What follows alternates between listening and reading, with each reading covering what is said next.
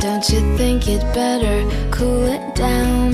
You're always getting curious and leaving town. You know I like it being in your family. Wonder what would happen if nobody left. We'd all stick around if we'd all stick around. And here's a question that's been tested. Tell me